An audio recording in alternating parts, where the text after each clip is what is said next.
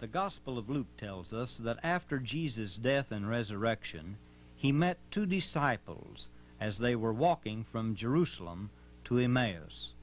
We're seated here this afternoon at the foot of the old Roman road that wound its way from Jerusalem down the valley towards Emmaus. My colleague is Halvor Ronning, a contributing member to the Jerusalem School of Synoptic Studies and a licensed guide here in Israel. Most visitors to Israel are aware of the fact that there are two or three traditional sites for almost every biblical event. For example, there are three shepherd's fields. There are two traditional locations for the crucifixion and the interment of Jesus. And there are approximately three locations for the biblical site of Emmaus. However, Jewish sources from the first century not only assist us in understanding the biblical text itself, but can also assist us in actually pinpointing many of these biblical sites.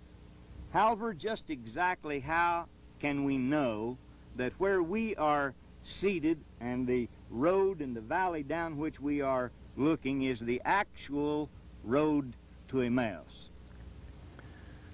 Well, sometimes the Bible just is so very clear that there's no doubt, like about where Jerusalem is located. But in this case, we're only given one fact, and that is a certain distance from Jerusalem that Emmaus is located. The methodology that's required here is to go and check other Jewish literature of the time of the New Testament. And thank God we've got such literature. Not only the Jewish literature of the New Testament written by Jews, but other literature prior to that time and around that time, following that time, that can throw light and can be a possible source of making an identification. Now I've got a copy here of one of the volumes of the Babylonian Talmud in an English translation, the Soncino translation. And here in the Talmud, there's a tractate that deals with the Festival of Tabernacles. And it's talking about a place below Jerusalem that's called Moza.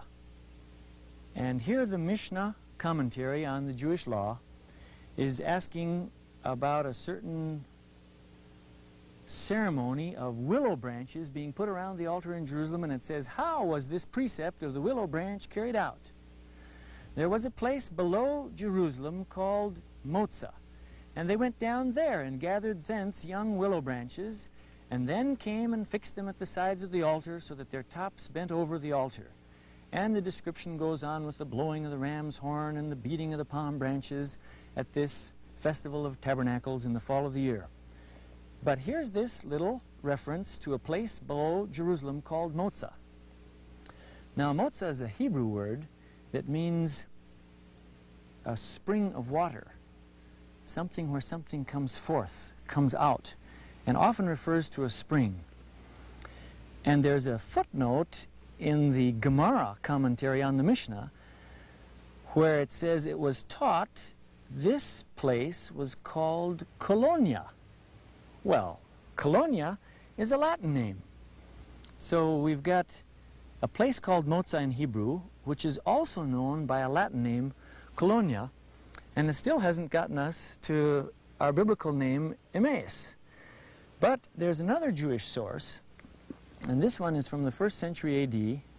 It's the description of the Jewish war against Rome by Josephus Flavius, or his Hebrew name Yosef ben Matityahu.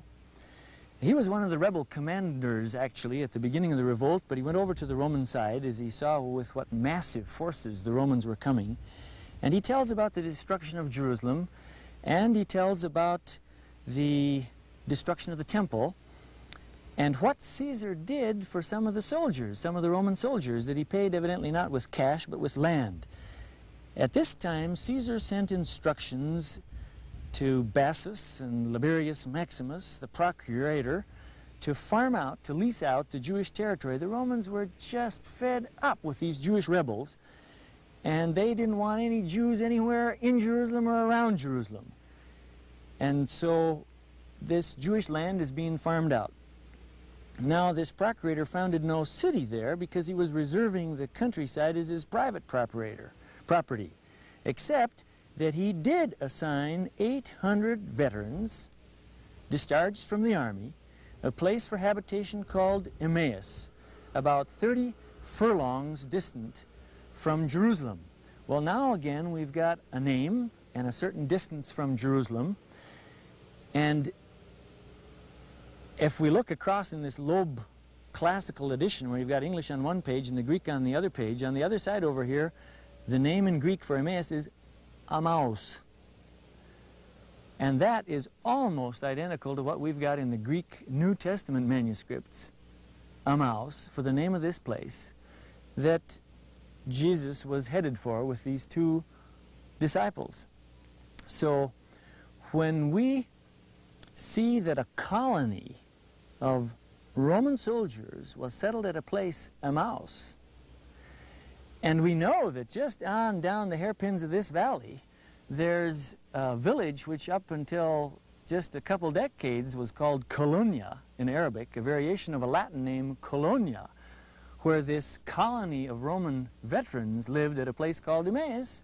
We can piece these things together, and we've got a site that fits beautifully into the Bible story. Not only the the location, the distance, for example, the furlongs mentioned fits in exactly with Luke's account here, where he says that Emmaus was approximately seven miles from Jerusalem, the distance being the same, but now we've got the, the Latin name Colonia, which was next to Emmaus, as is mentioned in the Jewish sources, so it all fits to such a degree that we can, according to your expert opinion, say for a certainty that this is the biblical road to Emmaus. That's right, and that's the thrill of realizing that let's put our New Testament texts into their proper Jewish context. And then as we search out that Jewish context, we can piece things together and have light thrown, in this case, on geography.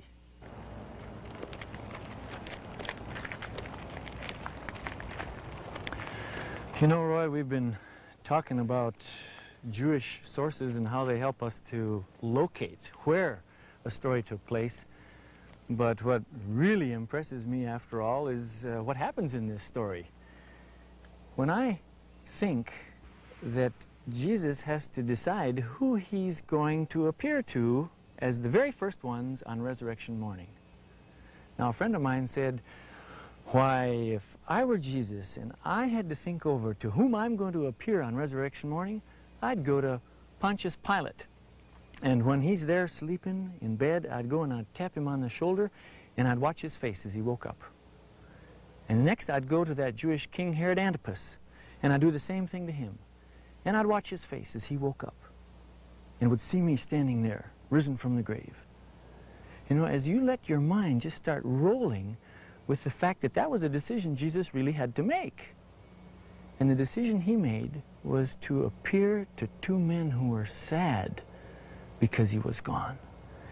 And in Luke, it, we've been discussing, it's these two men walking down the road to Emmaus.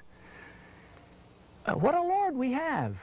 Or in the other Gospels, it's Mary, the first one to whom he appears, mourning, sad, out of her love there in the garden. What a Lord, not somebody who's out to impress people, but one who appears to those who love him. Because of available Jewish sources which help us illuminate the history of this country, we've been able to uncover much of its past. Here on the road to Emmaus, we have one of those few places in all of Israel where we can say with absolute certainty, I walk today where Jesus walked.